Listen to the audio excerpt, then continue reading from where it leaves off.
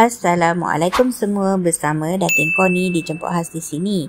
Welcome to Kokoci TV. Hari ini Datin Koni nak gosip-gosip sikit pasal Datin Red mohon maaf, akui terlalu emosi. Lakukan perkara ini untuk suaminya. Baru-baru ini madu kepada penyanyi Adira iaitu Datin Sri Sharifah Nur Syafilah Hashim memuat naik hantaran di Instagram story meluahkan rasa marah kepada suaminya Datuk Red yang dianggap seakan tidak menghargai jasa serta pengorbanannya.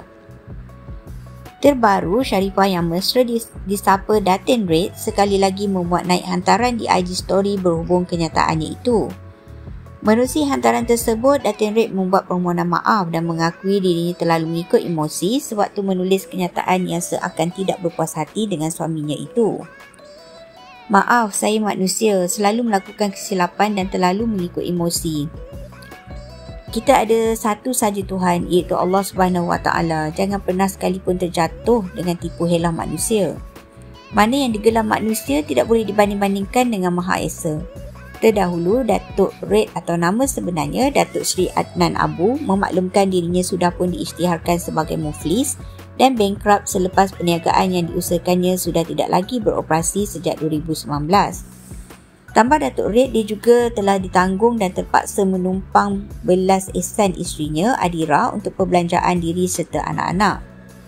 Walau bagaimanapun, isteri pertamanya iaitu Datin Red tampil membuat memuat naik hantaran di IG story memaklumkan dirinya seakan terkilan dengan Datuk Red yang hanya menyebut kebaikan Adira sedangkan dirinya juga banyak membantu suaminya itu ketika susah.